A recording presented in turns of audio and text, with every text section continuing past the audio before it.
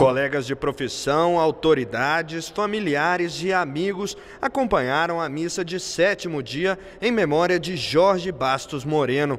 Jornalista com mais de 40 anos de carreira, Moreno faleceu na semana passada em decorrência de complicações cardiovasculares aos 63 anos.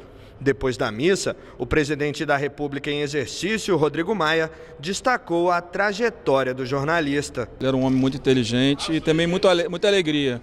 Né? Então ele era, ele era uma pessoa especial, uma perda muito grande para todos nós que amávamos ele.